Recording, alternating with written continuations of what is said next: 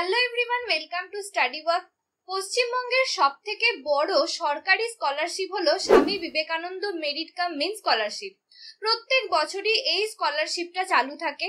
এই বছর, অর্থাৎ দুহাজার বাইশ সালে যারা মাধ্যমিক, উচ্চ মাধ্যমিক গ্র্যাজুয়েশন পাশ করেছ, তাদের জন্য থাকবে এসভিএমসিএম স্কলারশিপ আজকের ভিডিওতে সম্পূর্ণভাবে আলোচনা করব যারা এই বছর কলেজে ভর্তি হয়েছো, তারা কীভাবে এসবিএমসিএম স্কলারশিপ পাবে কত টাকা তোমরা পেতে পারো?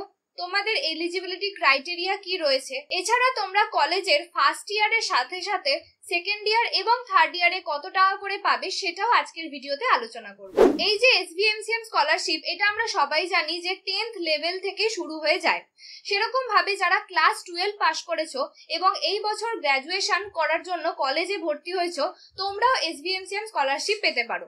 তার জন্য তোমাদের মিনিমাম সিক্সটি পার্সেন্ট মার্কস পেতে হবে গ্র্যাজুয়েশনে যেটা আগে ছিল সেভেন্টি ফাইভ পার্সেন্ট কিন্তু এখন আগের বছর থেকে কমিয়ে সেটাকে সিক্সটি পার্সেন্ট করে দেওয়া হয়েছে। তোমরা যে ক্যাটেগরির আন্ডারেই পড়ো না কেন জেনারেল এসসি এসটি ওবিসি সবাই এই স্কলারশিপটার আন্ডারে অ্যাপ্লাই করতে পারবে যদি তোমাদের minimum sixty percent marks class টুয়েলভে থাকে। এর সাথে সাথে তোমাদের আরও একটা এলিজিবিলিটি ক্রাইটেরিয়া রয়েছে, সেটা হলো তোমাদের ফ্যামিলি ইনকাম তোমাদের ফ্যামিলি ইনকাম যদি ম্যাক্সিমাম আড়াই লাখ টাকা পার ইয়ার হয় তাহলে তোমরা এই স্কলারশিপটার আন্ডারে অ্যাপ্লাই করতে পারবে। আর তোমাদের ইনকামের এই যে প্রুফটা সেটা কিন্তু ইনকাম সার্টিফিকেট দিয়ে তোমাদেরকে দেখাতে হবে, তবেই তুমি এই স্কলারশিপের জন্য এলিজিবল হবে। যদি আড়াই লাখ টাকার বেশি কারোদের ফ্যামিলি ইনকাম হয়, তারা এই স্কলারশিপের আন্ডারে অ্যাপ্লাই করতে পারবে না। এমন অনেক স্টুডেন্টই থাকে যারা ক্লাস টেনে এসবিএমসিএম স্কলারশিপ পায়নি। তারাও কিন্তু ক্লাস টুয়েলভে যদি মিনিমাম সিক্সটি পার্সেন্ট নাম্বার পায় তাহলে অবশ্যই এসবিএমসিএম স্কলারশিপের আন্ডারে অ্যাপ্লাই করতে পারবেন আর ক্লাস টুয়েলভের পরে যারা গ্র্যাজুয়েশনে ভর্তি হচ্ছ, তোমাদের কোনো রকম রিনিউয়াল অ্যাপ্লিকেশন হয় না। তোমাদের পুরোটাই ফ্রেশ অ্যাপ্লিকেশন হয়। অর্থাৎ মিনিমাম সিক্সটি পার্সেন্ট যদি তোমরা ক্লাস টুয়েলভে পেয়ে থাকো, তবেই তোমরা এখানে অ্যাপ্লাই করতে পারবে। তোমাদের অনেকেরই কোয়েশ্চেন থাকে যে, আমি সিবিএসসি বা আইএসসি বোর্ড থেকে রয়েছি ওয়েস্ট বেঙ্গল বোর্ড থেকে নয়, তাহলে কি আমি এই স্কলারশিপটা পাবো? দেখো, তাহলে কিন্তু তোমরা এই স্কলারশিপটা পাবে না। যারা ওয়েস্ট বেঙ্গল বোর্ড থেকে রয়েছে, তারাই এই স্কলারশিপটার আন্ডারে অ্যাপ্লাই করতে পারবে এবং অবশ্যই তোমাদের যে ফ্যামিলি ইনকামের ক্রাইটেরিয়াটা রয়েছে সেটাকেও পূরণ করতে হবে। এবার আসছি এই যে স্কলারশিপ এই স্কলারশিপটার আন্ডারে কলেজে তোমরা টোটাল কত টাকা পেতে পারো? দেখো কলেজে যারা জেনারেল ডিগ্রি কোর্সের আন্ডারে পড়ছো বা যারা প্রফেশনাল কোনো কোর্স করছ বা যারা যেমন ধরো ইঞ্জিনিয়ারিং বা যারা কোন রকম পলিটেকনিক ডিপ্লোমা করছ, এই তিনটে ভাগে ভাগ করা হয়েছে টোটাল গ্রাজুয়েশন কোর্সটাকে যারা গ্রাজুয়েশন জেনারেল ডিগ্রিতে পড়ছো, যেমন বিএ বিএসসি বিকম এদের ক্ষেত্রে কিন্তু রয়েছে আলাদা টাকা এবং বাকি আলাদা যে প্রফেশনাল কোর্স বলো বা ডিপ্লোমা কোর্স বলো, তাদের জন্য রয়েছে আলাদা টাকা। যারা গ্রাজুয়েশন আর্টস এবং কমার্স নিয়ে পড়ছো, তারা এক বছরে পাবে টোটাল বারো হাজার টাকা। আর যারা সায়েন্স নিয়ে পড়ছো অর্থাৎ বিএসসি করছ তোমরা পাবে এক বছরে আঠেরো হাজার টাকা। অর্থাৎ প্রত্যেক মাসে সায়েন্সরা পাচ্ছে পনেরোশো টাকা করে, আর প্রত্যেক মাসে আর্টস এবং কমার্সরা পাচ্ছে হাজার টাকা করে। যারা আদার কোনো প্রফেশনাল কোর্স করছ বা ইউজিসি অ্যাপ্রুভড কোনো কোর্স করছ, তারাও পাবে পার মান্থ পনেরোশো টাকা করে, অর্থাৎ এক বছরে পেতে পারো তোমরা আঠেরো হাজার টাকা। যারা ইঞ্জিনিয়ারিং করছ, তারাও কিন্তু এসবিএমসিএম এর আন্ডারে আসবে। তোমাদের জন্য রয়েছে পার মান্থ পাঁচ হাজার টাকা করে, অর্থাৎ এক বছরে ষাট হাজার টাকা। আর যারা পলিটেকনিক ডিপ্লোমা কোর্স করছ, তোমাদের জন্য সেম অ্যাজ রয়েছে পনেরোশো টাকা করে পার মান্থ অর্থাৎ এক বছরে আঠেরো হাজার টাকা। এইটা হচ্ছে টোটাল গ্রাজুয়েশন যারা করছ, তাদের বিভিন্ন কোর্সের আন্ডারে বিভিন্ন টাকা যে তোমরা কত টাকা করে পেতে পারো। আর এই কোর্সগুলো ছাড়া তোমরা যদি অন্য কোনো রকমের গ্রাজুয়েশন কোর্স করে থাকো, তাহলে কিন্তু তোমরা এসবিএমসিএম এর আন্ডারে আসবে না।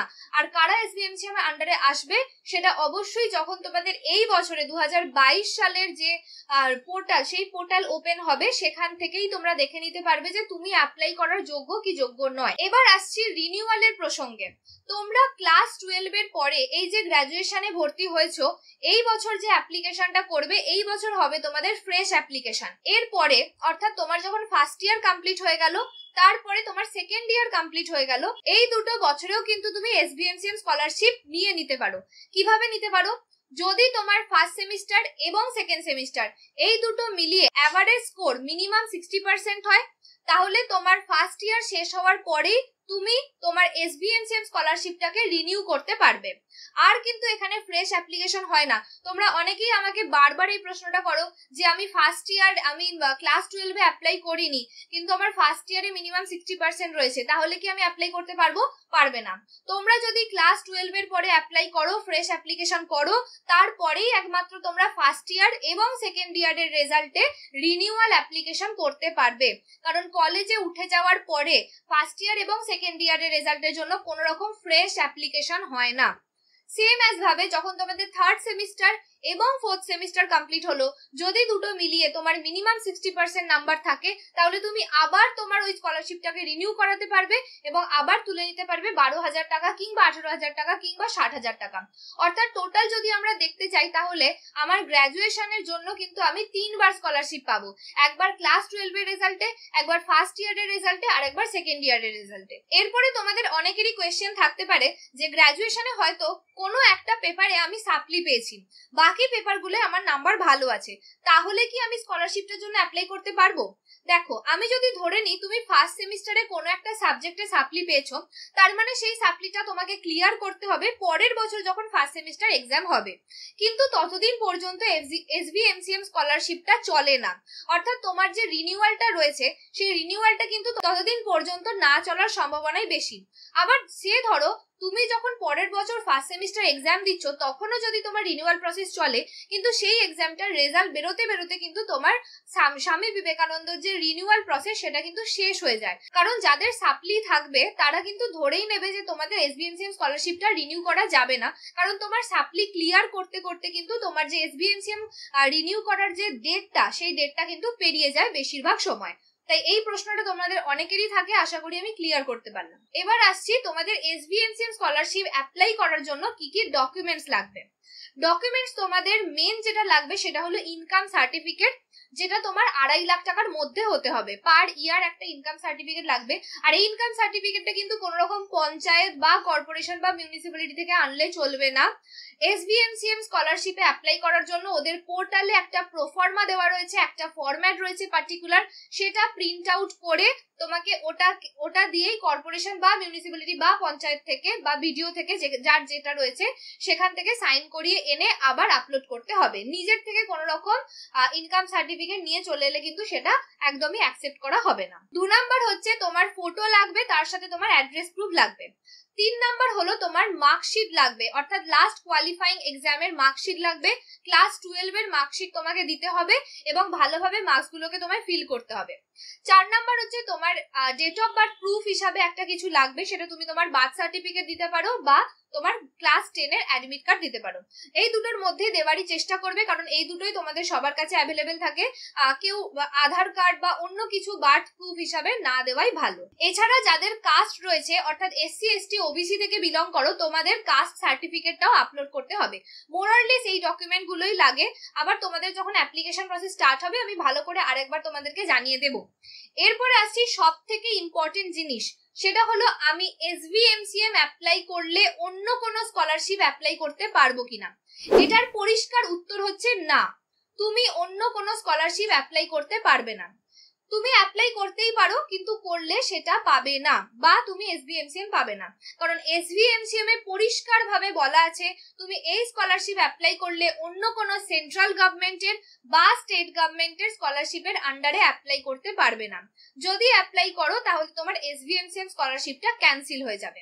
আর এসবিএমসিএম স্কলারশিপটা খুবই সিকিওর একটা স্কলারশিপ যদি তোমার সমস্ত এলিজিবিলিটি ক্রাইটেরিয়া ম্যাচ করে যায় এবং অ্যাপ্লাইটা তুমি যদি ঠিকঠাক করো, তাহলে তুমি এই স্কলারশিপের টাকা পাবেই পাবে। সুতরাং তোমরা অনেকেই আমাকে প্রশ্ন করেছ যে আমি ওএসিসও অ্যাপ্লাই করতে চাই, আমি এসবিএমসিও অ্যাপ্লাই করতে চাই। আমি কি দুটো একসাথে অ্যাপ্লাই করতে পারব? হ্যাঁ তুমি অ্যাপ্লাই করতেই পারো। তোমার যদি কলেজ থেকে স্কুল থেকে অ্যাপ্রুভ করে দেয়, তাহলে অবশ্যই তুমি অ্যাপ্লাই করতে পারো। কিন্তু তুমি এসবিএমসিএম এর টাকাটা পাবে না, যে কোনো একটার টাকা তুমি পাবে। আর আমার মনে হয় ওয়েসি স্কলারশিপের টাকা অনেকটাই কম, সেই জন্য ওটার দিকে না গিয়ে শুধুমাত্র এসবিএমসিএম এর দিকেই থাকো। যারা এসবিএমসিএম এ এলিজিবল হয়ে যাবে, এখন তো পার্সেন্টেজ অনেক কমিয়ে দিয়েছে সেভেন্টি ফাইভ পার্সেন্ট থেকে সিক্সটি পার্সেন্ট কমিয়ে দিয়েছে। তো সেই জন্য যারা এটার ক্রাইটেরিয়া ফুলফিল করবে ইনকাম আর মার্কস এই দুটো ক্রাইটেরিয়াই যারা ফুলফিল করে ফেলবে, তারা অনলি অনলি এসবিএমসিএম এর জন্য অ্যাপ্লাই করো আর অন্য কোনো স্কলারশিপের জন্য অ্যাপ্লাই করতে হবে না।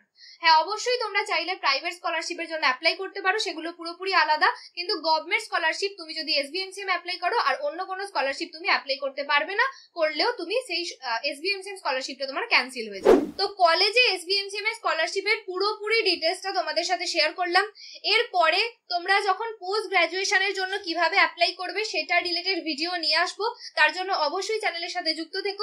এছাড়াও আরও বিভিন্ন সরকারি স্কলারশিপ রয়েছে, তোমরা চাইলে সেগুলোতেও অ্যাপ্লাই করতে পারো। তো সেই ভিডিও চ্যানেলে আসতে থাকবে। তার জন্য অবশ্যই চ্যানেলটিকে সাবস্ক্রাইব করে রেখো। আর এই ভিডিওটা এতটাই রাখছি, যদি ভালো লেগে থাকে তাহলে একটা লাইক করে দিও, বন্ধুদের সাথে শেয়ার করো। আর চ্যানেল নতুন থাকলে অবশ্যই চ্যানেলটিকে সাবস্ক্রাইব করে দিও। দেখা হচ্ছে আমার নেক্সট ভিডিওতে বাই